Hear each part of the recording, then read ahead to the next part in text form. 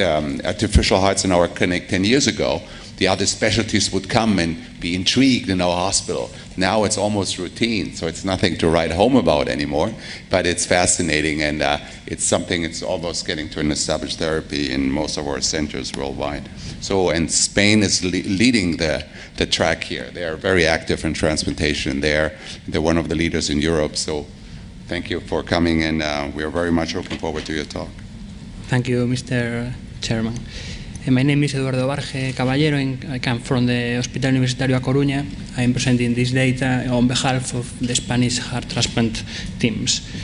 The focus of our study was a comparison of outcomes after high emergency heart transplantation of patients bridged to this operation with uh, a VAD, a ventricular assist device, uh, something like an artificial heart, or with conventional therapy with really inotropes or uh, another more simple devices like an intra-aortic balloon.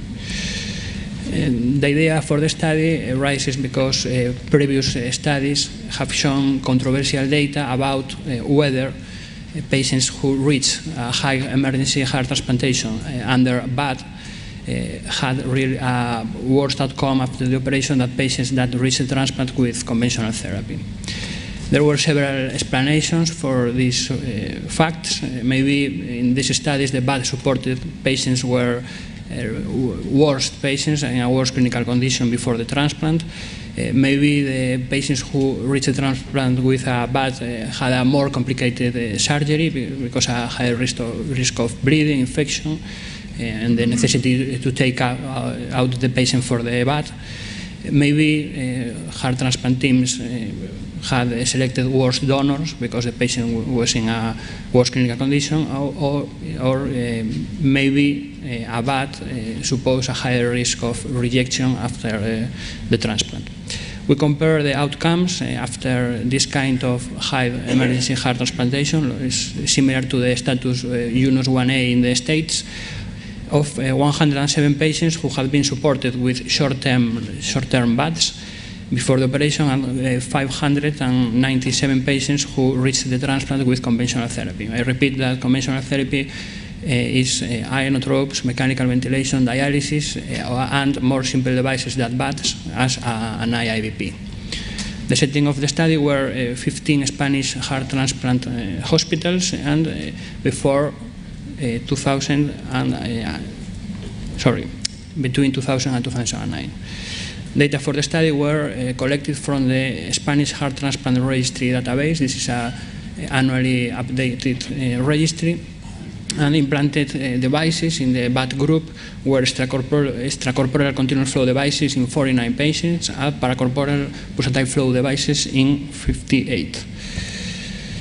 Here you can see the clinical characteristics of both groups patients uh, supported with uh, VADs were younger and um, had higher doses of inotropes before the VAD were, was implanted.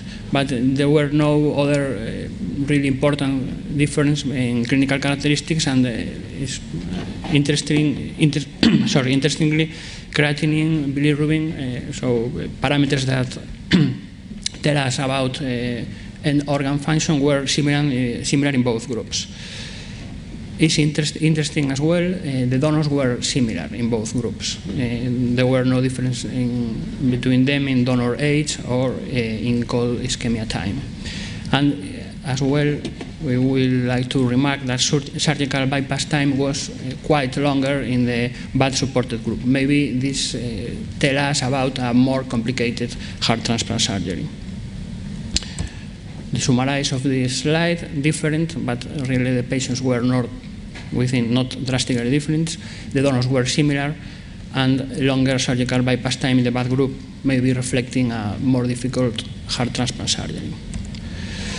Here we can see the early post-operative outcomes of both groups. In the VAD-supported uh, group, we uh, saw a, a major sorry, a higher risk of major bleeding, a higher risk of need for cardiac reoperation during the few days after the transplant, a higher risk of primary graft failure, and a trend to a higher uh, in-hospital mortality. Long-term sur survival in the VAD group was uh, significantly lower than uh, uh, survivor in the conventional therapy group, and this remains significant, statistically significant uh, even after adjusting for multiple potential confounders. Uh, this excess in mortality was uh, limited to the first months, uh, postoperative period, the first month of the surgery, but the long-term survival of one-year survivors after the transplant was similar in both groups. So we can conclude that our results suggest that the necessity for preoperative support with a short-term VAD in patients uh, that are going to a high emergency heart transplantation may impact negatively uh, the long-term survival after a transplant. Uh, this mm, finding seems to be driven by a higher risk of major surgical bleeding, a higher risk of primary graft failure, and a higher uh, postoperative mortality, early postoperative mortality. And according to our experience, we can see or we can say that routine implantation of a shorter VAD is not a good option for all patients uh, undergoing a high emergency heart transplantation. Uh, it's evident that if the patient is uh, really doing not well, he has um, severe eh, hemodynamic eh, instability, he's not well with the, with the conventional support, eh, we have to put, to, put, sorry, to implant a VAD, but it's not, in our opinion, it's not a good option for all patients in this situation. And that's all. Well, thank you for this very, very interesting uh, talk, and it's very intriguing finding. I, I hope you get this. This is patients listed for transplantation, and whether they should or not get a VAD is a very critical decision before. And when you go, and there are some difference with the U.S. and Europe. When you go to the U.S., you know, they would rather embrace the idea that you rather put a patient on a VAD as bridge to transplantation. And you're challenging this view. And I think this is very important. And uh, it's and you have large numbers in Spain, and that's why this is very important information. Any questions? Does it, matter, does it matter which type of bag you use? You had two different kinds. Yes. Still in the continuous flow. Yes, uh, pulsatile devices uh, were mainly EXCOR, Bernhardt, and uh, Abiomed. Those uh, two types of devices. But was there a difference in the survival with that? Ah, okay. And we didn't uh, find uh, statistically uh, significant difference, but there were a trend to a higher risk of bleeding in pulsatile devices, really.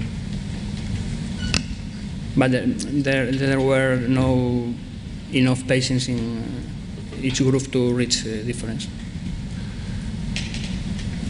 Any more questions from the panel? I think this is very important, and maybe uh, we can follow up on that later. I think uh, we have come to an end. It was a very um, interesting insight into what devices do, how they indeed revolutionize therapy in heart failure. This is the cancer of cardiology. This is how our patients finally die. And when we run out of options with drugs, we're happy to embrace everything that comes along. As Henry Kissinger always said, the lack of alternatives clears our mind marvelously.